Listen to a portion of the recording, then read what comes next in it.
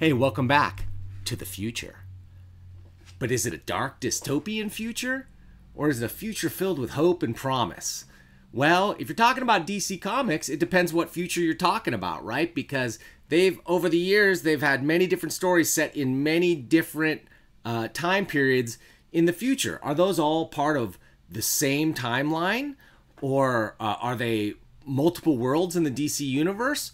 Well, Brian Michael Bendis is going to attempt to answer that question with uh, Legion of Superheroes Millennium, Part 1, today on Comic Book News.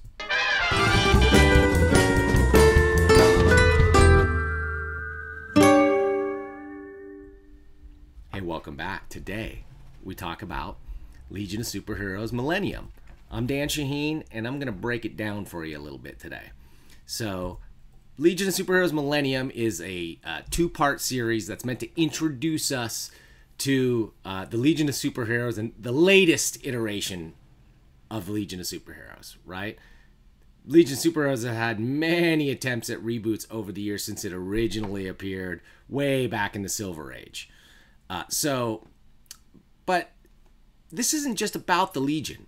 This is about the various future continuities that have uh, been shown in DC Comics throughout the years and sort of tying a connective thread through them with, of all characters, uh, the Rose and the Thorn. So, in the future, right, DC Comics, uh, we, we've seen the story of Kamandi, the last boy on Earth, right? He's raised in a bunker called Command D that he's named after. Uh, the planet is uh, basically humans have fallen, the animals have risen. It's really it's Jack Kirby kind of going a little bit nuts on Planet of the Apes type concepts. But hey, man, that's Kirby plus Planet of the Apes is a pretty cool combination if you ask me. So I understand why there's always been a lot of love for this series, even though it's not one of my personal all-time favorites. I'll admit I haven't read much beyond maybe the first several issues, but I understand its importance and place in the heart of many uh, DC Comics fans. Tommy Tomorrow, a lot less so. Tommy Tomorrow of the Planeteers, I do I've never read it. Um, I've not heard a lot about it. I don't hear people with a lot of fond memories of the Planeteers. To me, this is one of the like not second tier but third tier, tertiary tier characters from the DC universe, uh, sort of that sci-fi anthology side of the DC universe. Uh, can Bendis make it interesting again? Well, we'll see.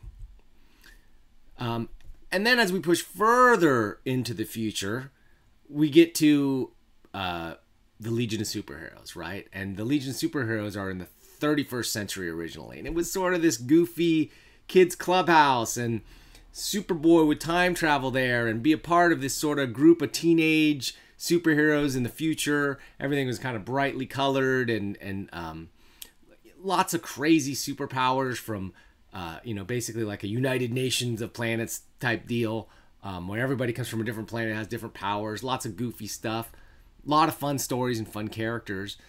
Something that never really caught on for uh, in later generations. I mean, this book has been the idea of the Legion of Superheroes has been rebooted since I've been reading comics. I can think of at least like a half a dozen times from Keith Giffen.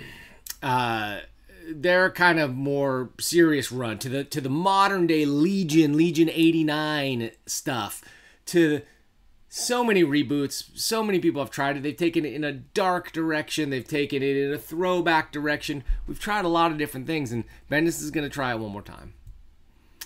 So uh, let's look at Tommy Tomorrow though one more time. So Tommy Tomorrow, um, this outfit kind of says it all. This is a, a, an age gone by in comics when like dudes wore a lot more pink and lavender and and uh, with yellow accoutrements, and you know it's your sort of uh, military uh, future fantasy, right? So how does Bendis gonna bring that all together and tie these disparate future universes together? Well, the only way to find out is to go to the Million Dollar Comics Cam. So uh, let's see what's going on. Legion Superheroes Millennium opens with a few pages by Jim Lee, right? And we get to see um, the rose and the thorn, right? The rose and the thorn. If you've been, if you've read any Superman or um, uh, I think she's tipping into Event Leviathan as well. You know that the Rose and the Thorn is like the perfect Bendis character at DC. She's like the Jessica Jones of uh, DC, and Bendis is determined to make her almost exactly that, in my opinion. Um, whereas with Jessica Jones, he went back and created this character, this troubled female character with sort of a weird power set. Didn't really want to be a super reluctant superhero, but inserted a retroactive continuity of her uh, in the Marvel universe as being like an Avenger in the 80s as Jewel or whatever stuff that never really happened uh, that we had never really seen before inserted into continuity. Fair enough it worked right? Jessica Jones popular character um, the uh, both the comic and the TV show were pretty good.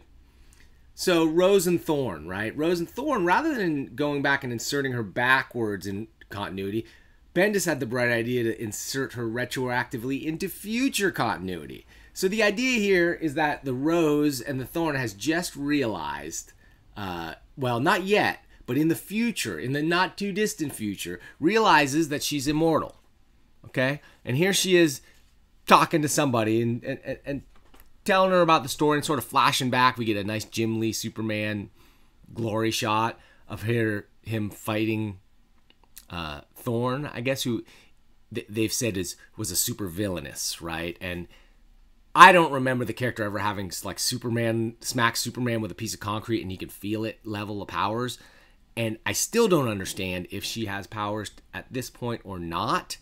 Uh, maybe that's going to be revealed, but it's not really clear. This is a Bendisism, right? Vague superpowers. Jessica Jones had it. She would sort could she fly? Could she not? What was her real? You know, she was strong. We knew that, but like when she would try to fly, weird things would happen. I I don't quite understand from this book exactly what Rose, or rather Thorn's power set exactly is, but maybe that's not the most important thing. So now we come to the reveal of who she's talking to. She's talking to. She says, "No, Madam Supergirl." I mean, Madam President. So in the future, Supergirl's the president. But if it's in the future, she's not a girl anymore. Sure, she runs for president and, and, gets that. Sure, I can believe that. But would she be President Supergirl? Would people still call her Supergirl? Was there never a Superwoman? Is that. I don't know. Is that uh, appropriate for that kind of character? Like, if you were a, a girl superhero and you were Supergirl, you grew up and became president, you'd be President Supergirl? nitpick time. Sorry. Um, so basically, what what we get here is the reveal that Rose was put on medication back in our days in the 20th century that that that kept her dual personality of of Thorn at bay. Right. So she was take she's been taking this medicine her whole life, and uh, or, or now, up to this point in her life. Um, but now she's lived so long, she didn't even realize she was immortal or didn't age until her husband died. And she's like, oh, yeah, he got old and I didn't. I'm getting older. Uh, or, everyone around me is getting older, but I'm not. She finally sort of realized that. I, I guess, you know, from your own perspective, if that was your life, you would never really get that. It seems a little bit like something people would notice and call out after the first few decades anyway, uh, in, in, this story, she is uh, she's ageless, right? But she was on this medication, and she's lived now so long that the, the the mental illness that this medication was designed to cure no longer exists in the human population. Anybody who had it has died, and no one new with it has been born. So, like, the company stopped making the drug, and so she goes to President Supergirl to be like, "Look, I need your help. This is something's gonna happen, man." Thorn is going to come back and she's going to be mad. And Supergirl does her best politician and uh, says, Look, listen, everything's going to be okay, right? Don't worry about it. Everything's going to be all right. Um, and she sort of flashes back to where she uh, where it all started going wrong. Like she she woke up in Arkham Asylum and fought the Suicide Squad. I don't know if this is a reference to a recent issue or just something that hasn't been totally revealed about where she might have gotten um, powered up. Not totally clear. Not the clear storytelling for a number one. I, I, I want a little bit more, but you know, it's supposed to intrigue us and pull us in. So anyway, you know, Supergirl, President Supergirl promises, I promise you, one way or another, everything's going to be okay. Very sincere promise by a politician. You know you can believe it. So, right, naturally, we cut to, sure enough, she's off her meds and she's fighting, uh, she's beating the crap out of criminals. And the thing is, she's not just beating the crap out of them, she's killing them. She's murdering them with a ray gun. It's the future, but when in the future we find out, oh, this is the Batman Beyond future, right? So this is one of the first future continuities. Now she's lived past the modern DC age and into the Batman Beyond era, right? And she she kind of is like curious. She she's able to just beat Batman Beyond like nothing. She's got access to some kind of crazy technology we don't know where from. She's got this like magic ball thing. She just touches him and he's done and basically says, you know, wants to figure out is he the real Batman? Is Batman is maybe the real Batman immortal like me because I'm lonely. All right, he's not. So she just sort of leaves him and abandons him. Then we get to the next and then, right? And so this is the next. Who knows how long? A hundred years, hundreds of years later, um, we're in the uh, Kamandi period, right? And we get to see shots of Kamandi, and uh, you know, in in in the Kamandi book, Superman was sort of like the savior legend of like. Uh, somewhere in the 20 early 21st century the planet went into like ecological collapse and superman saved us somehow but now he's gone right? So they've preserved superman's uniform and it's being held and by this like tribal elder and um, who should show up? But our girl rose who's like you know what? I want that and uh, she just kills the tribal elder puts the superman costume on to see if it will give her superpowers like the internet told her it would. I thought that was a pretty funny moment. It doesn't. And she decides to keep it and gets confronted by Kamandi. and there's some humorous bendisisms and then we're done with this future. And we're on to the next future right? This is the world of tommy tomorrow and the planeteers. And I thought this was the funniest. I, I like this the art style. It's drawn in sort of a, a, a Moebius looking style, in my opinion. Um, I liked it because she sort of like goes to the Planeteer desk and like, look, I'm off my meds. I need help. I want to join up with the Planeteers. And just she's being monitored. She's talking to this really friendly guy who's very sympathetic to her, but the entire conversation is being monitored by artificial intelligence. So they uh, uh, basically realize that she's crazy and immediately try to capture her. Okay, and then this is the end of part one. Okay, and, and then we've got a lot of intro material into who are the Legion of Superheroes and what's going on, stuff that's coming up, and more future stuff like OMAC, another one of the future um, universes that's going to get tied in here. Cool idea, but you know, we didn't see any of this Legion of Superhero stuff in this issue. We didn't see anything. There is no intro to the Legion of Superheroes in this book at all. And if you're not a pretty big nerd, I mean, look, I read a lot of comics. I've been reading comics for 30 plus years, 35 years at least. I've read a lot of DC comics. Granted, I'm not an expert in all their future continuities, but man, I know enough to know what's going on when I read a comic, and it was very hard to understand what's going on. Like, how do these continuities tie together? And why? Why do I care? Right? So I I don't quite know what to say about this book. Um, I thought it was intriguing. I think the Rose and the Thorn uh, immortal character is kind of an interesting idea, but is she immortal or does she just not age? It's not really clear because man she must be really tough and have a lot of like strength and, and power to be able to live this survive this long.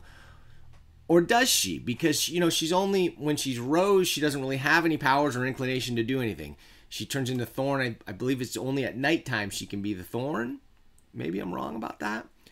It's not super clear. The point is bendis has taken an awful lot for granted in this book. And so is DC, right? How many times can we introduce these convoluted future uh, continuities and tie them all in together and say, ah, everything you knew before, forget about that. Forget about that 30, 40 years of Legion stuff. Here's the real deal with Legion.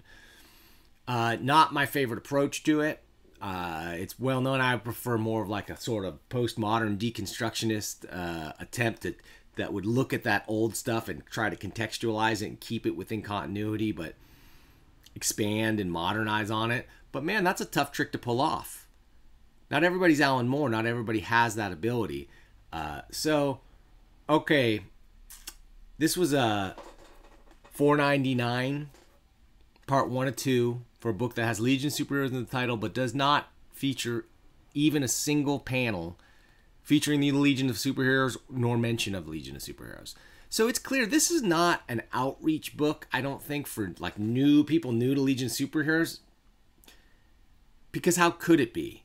There's nothing reaching out here. There's only looking in. This is a very insular book, and this, in my opinion, is part of what's going wrong with a lot of DC comics right now to a lot of navel gazing and looking to the past and trying to resurrect older things again and again and again in ways that don't work, and not enough uh, reaching out just for crazy new approaches and, and, and trying new stuff.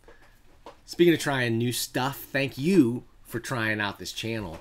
We are uh, we're growing fast thanks to your support, uh, but we need everything we can. So thank you for liking these videos. Thank you for commenting because I learn a lot from the comments. And just thanks for subscribing and uh, thanks especially for watching. We'll see you next time.